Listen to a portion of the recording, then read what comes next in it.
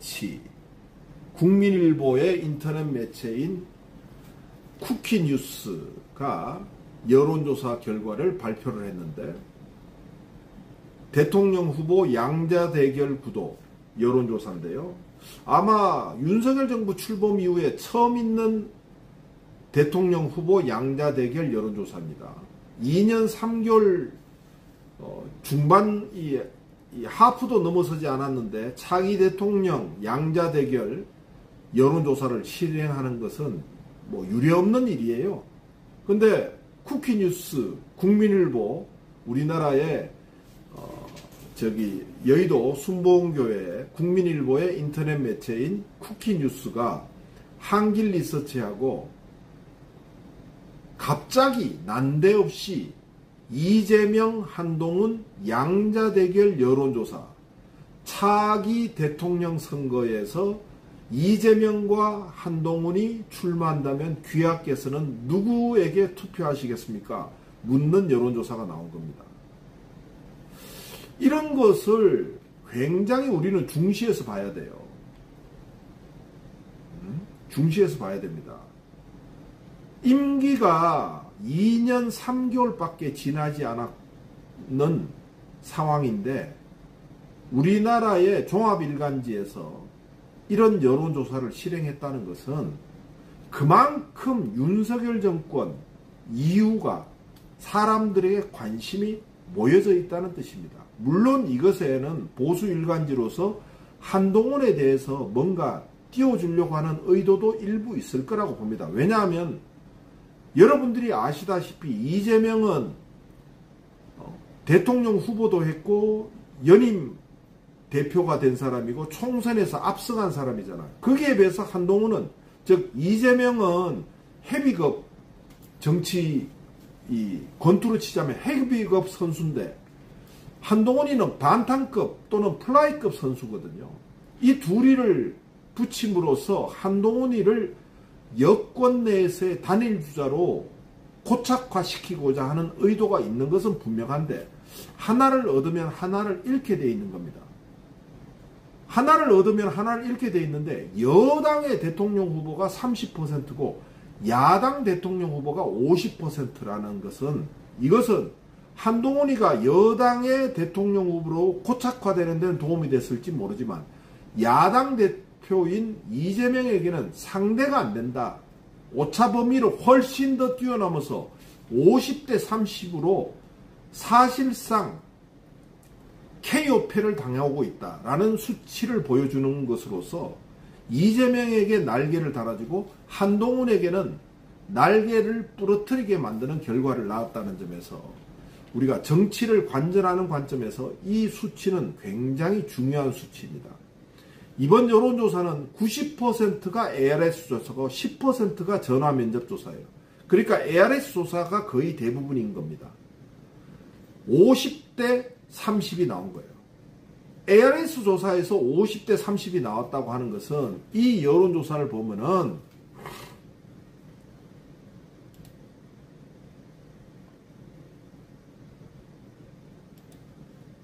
음?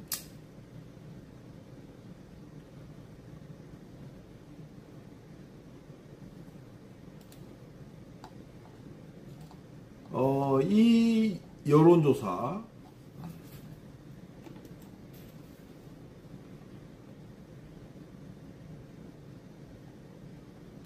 정당 지지율에 있어서 이 같은 한길 리서치, 같은 여론조사에서 정당 지지율에서는 민주당과 국민의힘 지지율이 31대 30으로 똑 동률이었거든요. 동률이었습니다.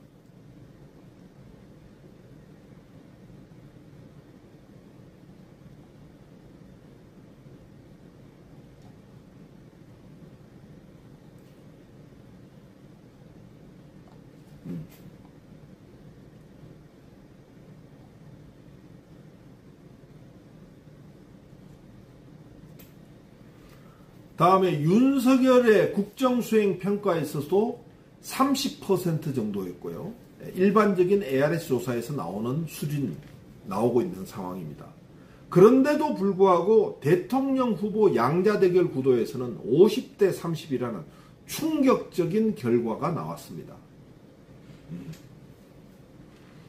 충격적인 결과가 나왔어요.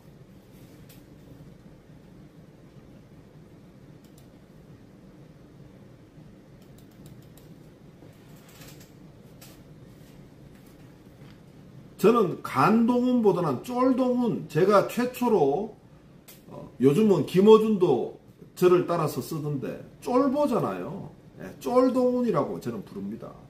김건희의 쫄, 윤석열의 쫄, 쫄보 한동훈, 네, 쫄동훈, 쫄동훈입니다. 자, 이번 여론조사의 의미는 2년 3개월 대통령 임기 시기에 이런 양자 대결 여론조사는 안 나옵니다. 임기 4년차 후반기라든지 5년차 들어갔을 때 대통령 선거 기간에 들어가서는 양자 대결 여론조사가 많이 나오는데 2년 3개월 반환점도 돌지 않은 시점에서 양자 대결 여론조사가 나왔기 때문에 이제 다른 여론조사 기관도 이런 여론조사를 하지 않을래야 않을 수가 없는 거예요. 한길 리서치는 한 달에 한 번 조사를 하는 건데 쿠키뉴스하고 이제 앞으로 계속 하게 될 거거든요. 그러면 다른 여론조사들도 이제 안 할 수가 없는 겁니다. 우리나라의 여론조사의 캐보왕짱이라고 하는 한국갤럽이라든지 뭐 MBS 같은 4개 여론조사 회사의 연합체라든지 이런 데서는 모르겠지만 앞으로 미디어 토마토라든지 스트레이트의 조원 CNI라든지 그 다음에 여론조사 꽃이라든지 이런 중위권을 형성하고 있는 ARS 여론조사 기반 업체들은 이제 한길리서치, 쿠키뉴스, 국민일보에서 물꼬를 텄기 때문에 이 여론조사가 앞으로도 계속 쏟아져 나올 겁니다. 그런 점에서 봤을 때 한동훈에게는 오늘의 결과가 매우 타격이 크고요. 이재명 대표의 입장에 봤을 때는 50.7%, 즉 과반을 넘어섰다는데 의미가 크다고 볼 수 있습니다. 물론 이재명 대표가 지난 일요일에 대표 연임에 성공하면서 컨벤션 효과가 있는 시점에 여론조사를 한 것이기 때문에 월요일, 화요일 조사에서 오늘 수요일 발표를 했는 건데 일요일, 월요일 조사를 했나 그랬는데 컨벤션 효과를 타긴 탔지만 어쨌든 이재명 대표가 50.7%를 얻은 것은 지난 대통령 선거 경선 기간에도 선거 기간에도요. 여러분들 기억해 보세요. 우리나라의 그 어떤 여론조사 회사에서도요. 이재명 대통령 후보가 50% 넘었던 적이 없습니다. 음, 50%를 넘은 적이 없어요. 게다가 지금 보면은 50.7 대 30.4잖아요. 즉 81%만 자기 입장을 발표했고 밝혔고 나머지 11% 기타 후보 7.3%두 사람에 없다. 무, 모름 무응답 12%예요. 그래서 지금 어, 이 여론조사의 의미에 대해서 오늘 뭐 다른 현안들이 많아서 그런가 별로 다루지는 않는데 제가 이걸 꼭 다뤄줘야 되겠다고 생각하는 건데 그건 뭐냐면은 민주당 지지 유튜버들이나 이런 친구들이 정치적으로 이런 걸 해석할 능력이 좀 부족한 것 같아서 제가 코치를 좀 해주는 거예요. 제 방송을 좀 보시고 알아서 좀 판단해 보세요. 예전에 한길 리서치 여론조사나 대통령 선거 기간 중에 여론조사들에서 이재명 대표가 어떤 수치들을 기록해 왔는지 그리고 이번 수치의 50.7%는 플러스 알파가 있다는 뜻이거든요. 즉 의견을 밝히지 않은 사람들 가운데서도 shy 이재명 물론 저기에는 shy 한동훈이 있게 마련인데 shy 이재명도 있다는 점을 봤을 때 최대치로 보면은 50 한 5% 가까이로 올라갈 수 있는 수치입니다. 이것은 이재명이 대통령 후보 급으로 오르고 난 후에 얻었던 모든 여론조사에 대통령 후보 지지 여론조사에서 제일 높은 수치로 올라간 거예요. 제일 높은 수치로 올라간 겁니다. 이런 걸 이재명 지지자가 아닌 전상훈이 어, 이렇게 이야기를 해줘야지 객관성을 더 띄울 수 있는 거지. 연령대별로 살펴보면은 제일 앞서가는 연령대가 이재명이 앞서가는 연령대가 당연히 40대죠. 64대 64대 21. 다음에 50대에서는 60대 25.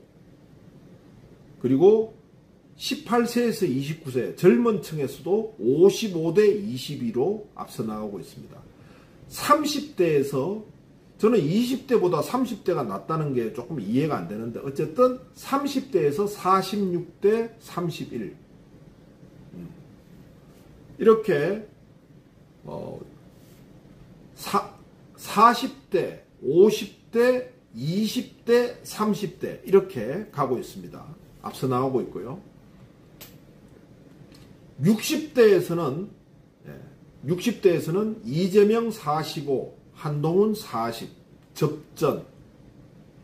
70대 이상에서는 이재명 30, 한동훈 46, 한동훈의 우세입니다. 지역별로는 뭐 당연히 호남권, 강원, 제주권에서 도 앞서고 있어요. 강원 제주권에서도 이재명이 한동훈에게 61대 32로 앞서가고 있고 인천 경기에서 54대 26, 충청에서 51대 30. 다음에 제일 중요한 지역인 서울에서 49대 35. 영남 지역의 남쪽인 부울경에서도 이재명이 앞서가고 있습니다. 부울경에서도 42.6대 33.4로 앞서 나오고 있습니다. 한동훈이가 지역적으로 우세한 지역은 대구 경북인데요. 한동훈 44, 이재명 36입니다. 정치 성향별로 보수, 중도, 진보층을 보면은 중도와 진보에서는 당연히 중도에서는 이재명이 50.6 전체 지지율과 똑같이 중도 표심도 50%를 넘어섰고 진보층에서는 80%인데 보수층에서는 한동훈이가 50% 이재명이 30%로 뒤집어져 있다는 거.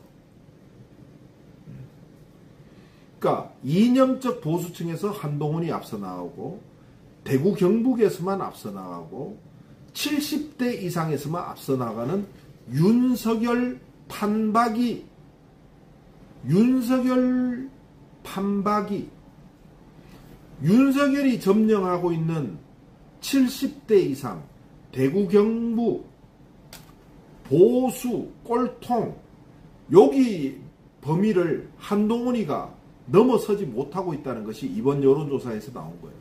즉, 그 말은 뭐냐?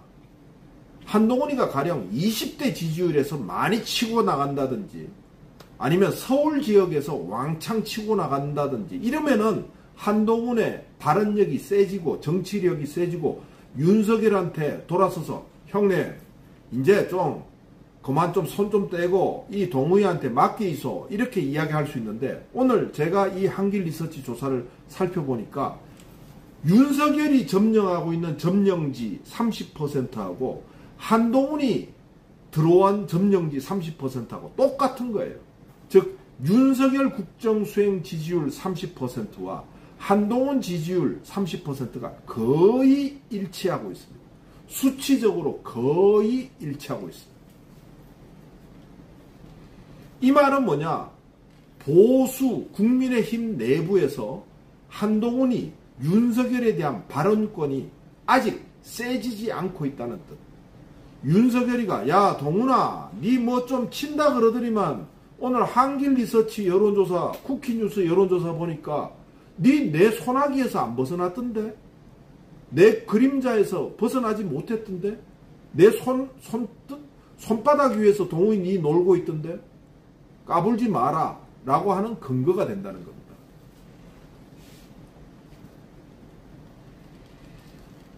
이 여론조사가 결국은 윤석열과 한동훈의 또 이간질 시키는 여론조사가 또 된 겁니다. 이 여론조사를 읽는 독해법의 핵심은 윤석열 지지율, 지지층과 한동훈 지지율 및 지지층이 거의 이란성, 일란성 쌍둥이처럼 거의 일치한 것을 보여주고 있는 거고 이 말은 뭐냐? 윤석열은 한동훈에 대해서 너 아직 독립할 여건이 안 되는 놈이야. 아직 너 좀 내 밑에서 더 배워야 돼. 이렇게 이야기하고 한동훈이는 썩이령 당신 때문에 내 이 멋진 한동훈의 포스가 장려를 못하잖아. 썩이령 좀 비켜주면 안 돼. 그런데 썩여리 앞에서 한동훈이가 깨갱깨갱하고 윤 김건희 앞에서는 발라당 까지니까 그렇게 말을 못하고 있는 거죠. 한동훈이가 오늘 50대 40쯤 나오고 윤석열 지지율이 30이고 한동훈 지지율이 40 나오면 한동훈의 주가가 뛰어 오르는 건데 오늘 여론조사는 윤석열 지지율하고 한동훈 지지율이 똑같다는 데 있다는 겁니다. 포인트가 그겁니다. 이재명의 지지율이 50%를 넘어섰다는 것도 의미가 있긴 하지만 앞으로 장기적인 쭉 힘으로 가야 되는 건데 지금 현재 국면에서 한동훈과 윤석열, 윤석열과 한동훈이 사실상 사실상 메두사의 대가리 두 개 있는 애들처럼 똑같은 애들이라는 거예요. 몸통이 똑같다는 뜻이에요. 대가리만 둘이라는 겁니다. 네. 대가리만 둘이라는 거예요.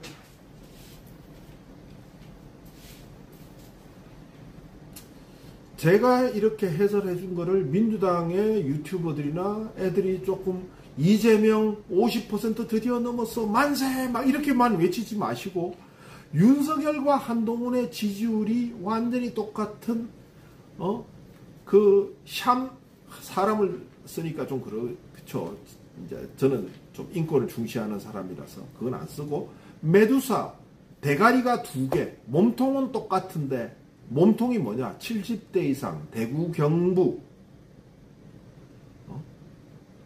거기서만 어? 지지율이 높은 한동훈과 윤석열 완전히 똑같다는 거지.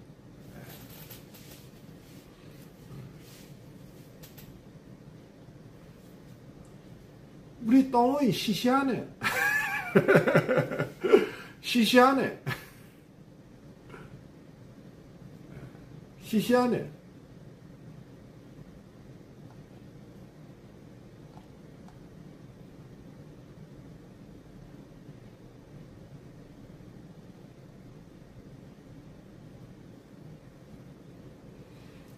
차기 야권의 대선주자 선호도 질문에서는 이재명 43%, 김동연 7.7%, 김동연이 2등, 김경수 전 경남지사 6.0%, 조국 대표 5.8%, 김부겸 5.5%, 임종석 1.5%,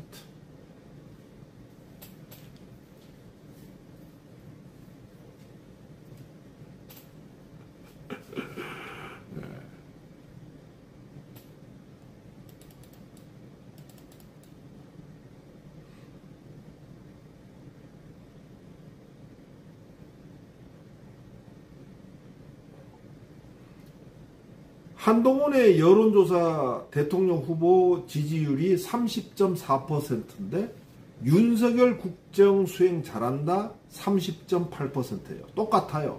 그러니까 한동훈과 윤석열이 지금 완전한 공동 운명체고 한동훈이가 윤석열의 손바닥을 벗어나려고 했는데 결국은 벗어나기 위해서 뭔가 흉내 짓을 하다가 지금 완전히 스톱되어 있는 상태예요. 독립된 한동훈이라는 이미지를 구축하지 못한 윤석열 아바타 한동훈의 이미지로 고착되어 있는 상태이기 때문에 한동훈은 미래가 없다. 이런 뜻입니다.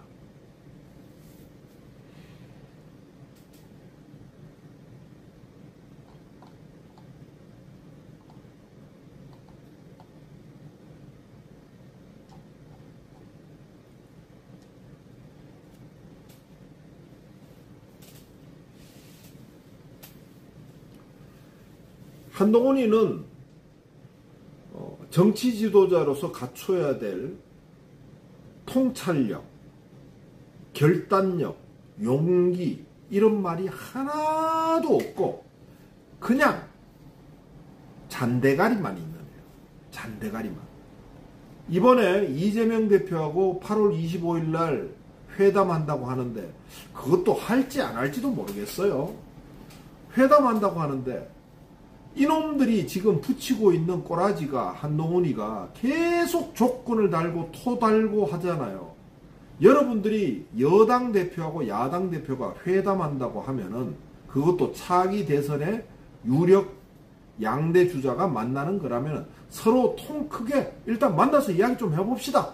필요한 의제는 1번, 2번, 3번 정도는 해봅시다. 이 정도만 하고 나면은 모여가지고 모두 발언만 서로 공유하고 한 회담 2시간 하고 끝나고 난 다음에 기자회견하고 이런 식으로 하면 되는데 얘네들이 지금 정신이 없어. 피하고 싶어서 안달이 났는 애야. 안달이 났는 애야. 예를 들어서 이 여야 대표 회담을 진행하는데 TV 토론처럼 하자고 유튜브나 TV에 공개되는 토론회로 하자고 하면은 그거는 토론회로 열어야지. 회담에서는 의제를 놓고 서로 의견을 주고받고 필요하면은 어? 주고받는 give and take도 논의를 해야 되잖아요. 토론하는 것은 뭐냐 하면은 서로 의제를 놓고 A와 B를 놓고 서로 셧다운 시키기 위해서 어? 권투를 하는 거란 말이에요. 그런데 회담이라고 하는 것은 우리가 양국의 미국 한미 정상회담, 다음에 남북 정상회담 할 때도 어떻게 합니까?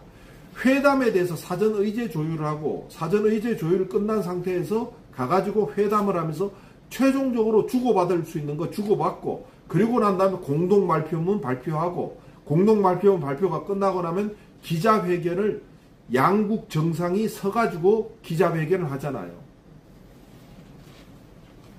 언론에다가 하는 걸 보여주고 싶으면은 처음에 모두 발언하고 비공개로 2시간 회담 끝나고 난 다음에 두 사람이 나와서 합의문 발표하고 어? 대변인들 시켜서 합의문 발표하고 그 다음에 공동 기자회견을 하면 되잖아요. 정상회담 흉내 내듯이 하면 되거든요.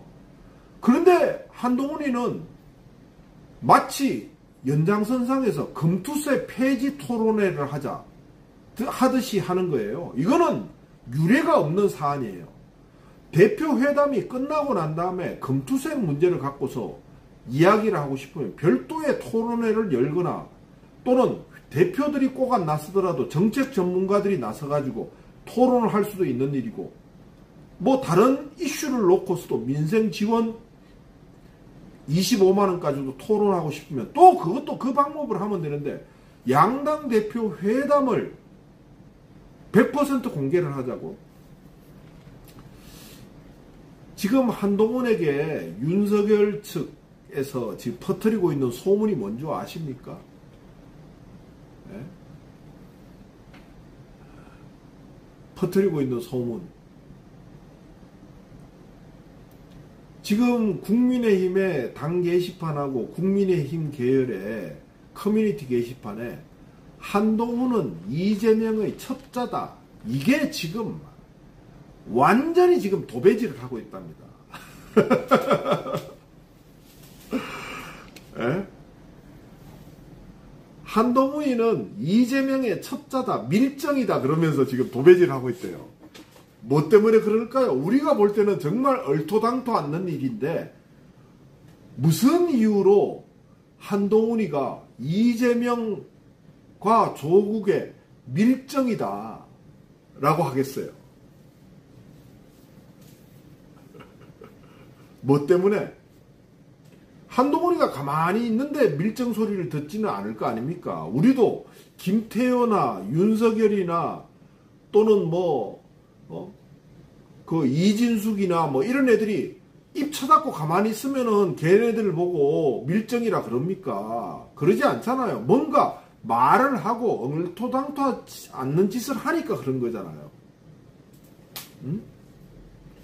왜 한동훈이는 지금 이재명의 이재명이 국민의힘에 박아놓은 고급 제1급 밀정이다 라는 스파이다라는 지금 공격을 당하고 있을까요? 왜 그럴까요, 여러분?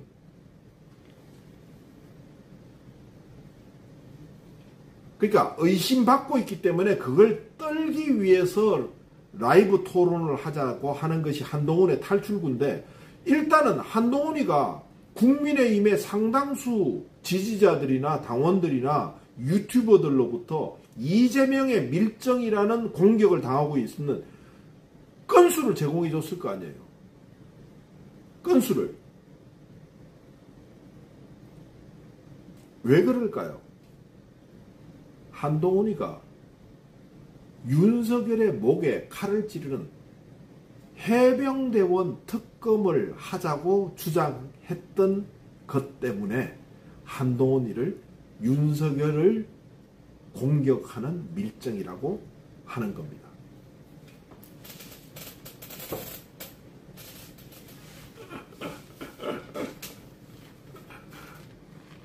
예, 우리 IQ 정치 IQ가 나날이 발전하고 있는 우리 염재경 님이 제일 먼저 제일 먼저 정답.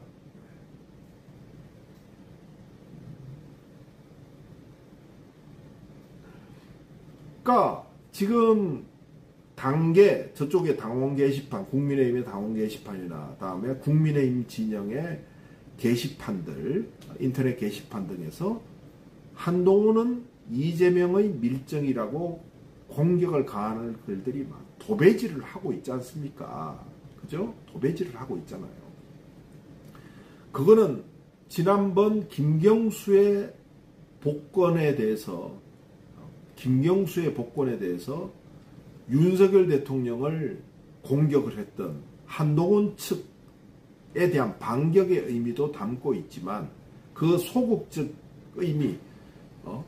이 작용 대 반작용 이런 차원이 아니라 아예 한동훈이를 윤석열 국민의힘 족보로부터 파내겠다는 뜻이에요. 족보로부터 파내겠다는 겁니다. 한동훈이를 윤석열과 김건희가 이미 한동훈이를 어, 윤석열 정권의 족보로부터 호적에서 파겠다고 하는 입장을 분명히 했지 않습니까? 원희룡이를 내세우고 다음에 김건희가 문자 메시지, 텔레그램 문자 메시지 공개하고 윤석열이가 밥도 같이 안 먹어주고 먹어줘봤자 수십 명하고 낙선자들하고 같이 먹어주는 거 등등을 다 봤을 때, 예? 다 봤을 때 윤석열이가 아버지고 한동훈이 아들이라고 했을 때 이 윤석열이라는 아버지가 한동훈이라는 어? 아들을 호적에서 파겠다는 입장이 명확하니까 거기에 줄을 쫙 쓴 거예요. 쫙 쓴 겁니다.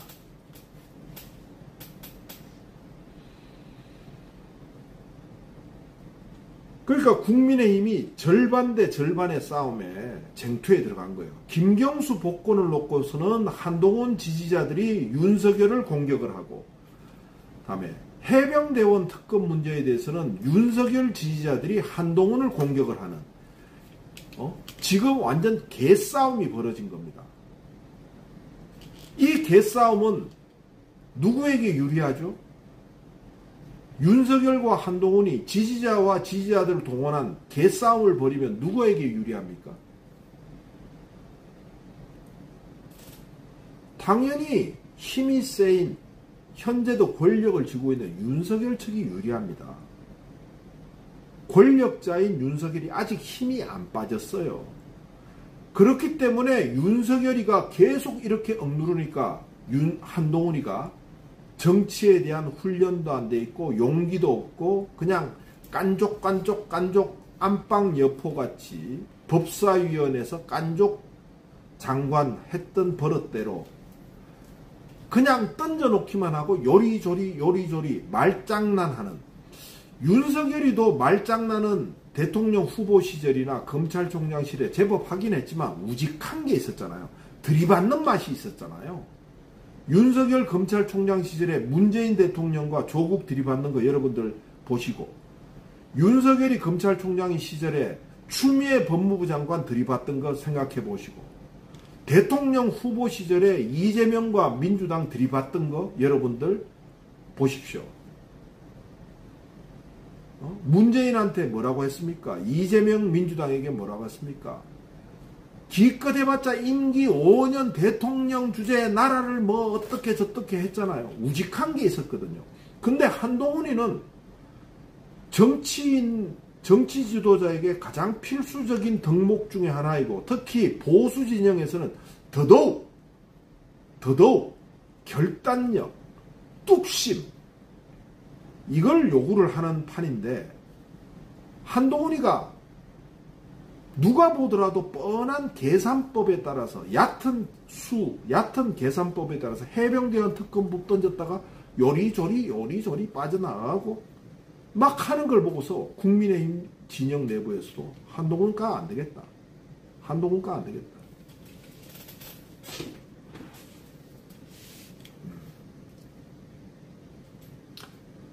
그래서 우리는 이 상황이 너무 즐겁기 때문에 부채질 도사는 오늘도 부채질을 합니다.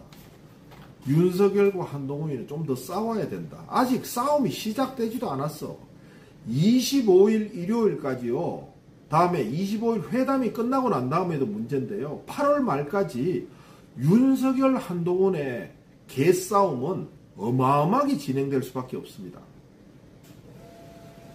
이게 지금 빅 이벤트거든요. 이재명과 한동훈의 양자 회담이 대통령과의 이재명, 윤석열의 영수회담 전에 사실상 영수회담은 나가게 된 상태에서 대표 회담을 갖게 된다는 것은 한동훈이가 국민의힘을 대표해서 스포트라이트를 독점하게 되는 거거든요.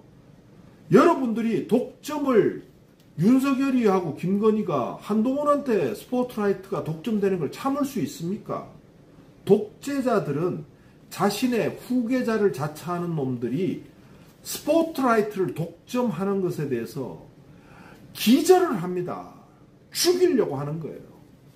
죽이려고 하는 겁니다. 그래서 지금부터가 전쟁이 시작된 겁니다. 한동훈, 윤석열의 전쟁은 지금부터가 시작입니다. 네? 그런 썸네일이 있었을 것 같은데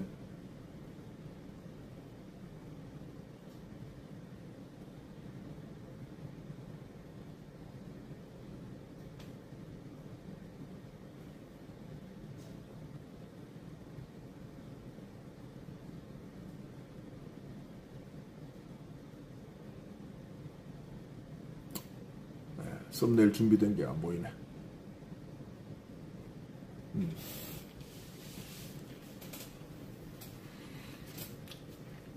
우리 국민들을 위해서 시리에 빠져 있는 국민들을 위해서 윤석열과 한동훈이가 우리가 요즘은 추석 그러면 스포츠가 뭘 떠오릅니까? 옛날 강호동 이만기가 있던 추석 장사 씨름 대회, 추석 연휴에는 어? 그 장사 씨름 대회 옷 반사 하나 딱 입고 하는 거 그거 하루에 3시간 4시간 KBS가 시청률 빨아당겼잖아. 시청률 20% 어? 땡겼잖아. 이번 지금 한여름 이제 끝 여름의 끝자락에 이제 날씨는 내일 처서를 계기로 해서 이제 선선해질 텐데 윤석열과 한동훈 사이에 뜨거운 전쟁은 지금부터 시작입니다. 8월 25일 국민의힘 보수 진영의 대표 주자로 한동훈이가 완전 스포트라이트를 이재명 덕분에 스포트라이트를 받는 그 순간부터 질투심에 폭발하고 한동훈이가 어 이제 양자 대통령 후보 대결 여론조사에도 나오게 되는 것에 열받은 윤석열이가 한동훈이를 어떻게 죽이려고 덤벼드는지 여러분들 한번 보시게 될 겁니다. 네. 음?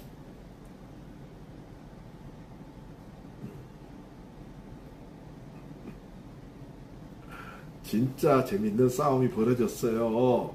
에, 이 싸움이 재밌어요. 어? 재밌어요. 그런데 우리는 윤석열과 한동훈이가 둘이서만 싸우는 것을 로만 만족해 하지 않죠. 둘이서 싸우다가 하나가 치명상을 입도록 해야지. 윤석열이가 자빠지는 것이 최고 좋은 거고 두 번째로 좋은 게 한동훈이가 자빠지는 거지. 둘이서 화해하는 거는 제일 나쁜 일입니다.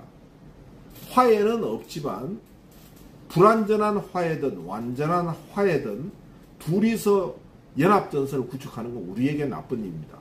윤석열이가 자빠지면 그 기회를 틈타 가지고 예? 윤석열을 쳐부숴야 되고요. 한동훈이가 자빠지면 또 그걸 또 틈타서 국민의 힘을 분당시켜서 정계 개편을 이끌어내서 탄핵 국면으로 가야죠.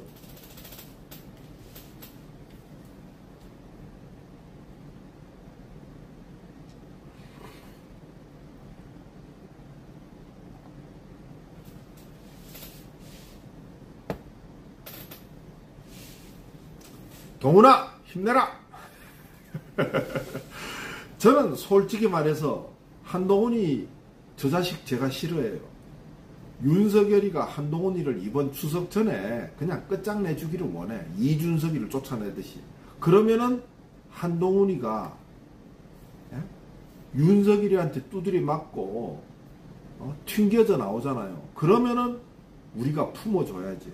동훈아, 야 동훈아, 너 저기 한 20명만 데리고 와. 어? 20명만 데리고 와. 그래서 윤석열 이번에 탄핵시키자.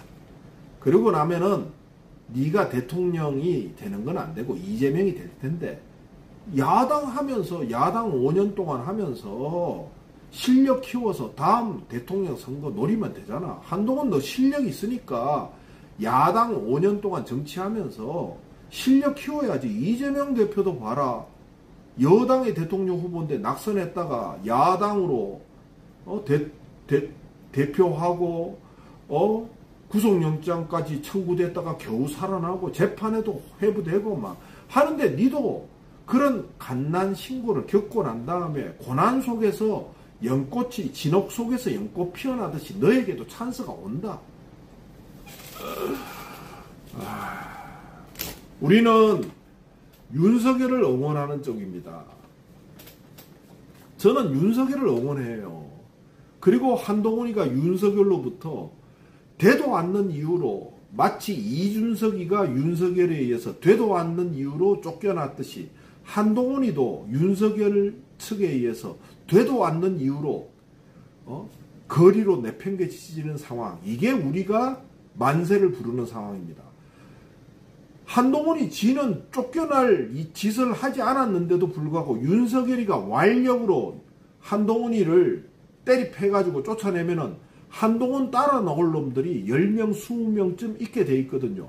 그네들을 땡겨와서 마치 박근혜 탄핵 때 김무성, 유승민, 원희룡, 오세훈 등등이 따라 나와서 박근혜 탄핵 투표했는 것처럼 우리는 그게 기다려지는 거예요.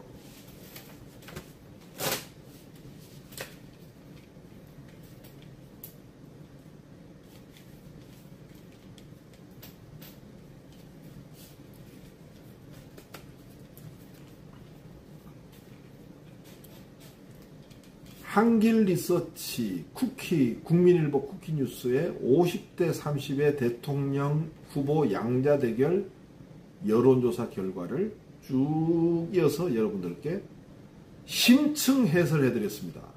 심층 해설 마음에 드십니까? 심층 해설 마음에 드신다면 심층 해설 마음에 드신다면 따봉을 날려주세요.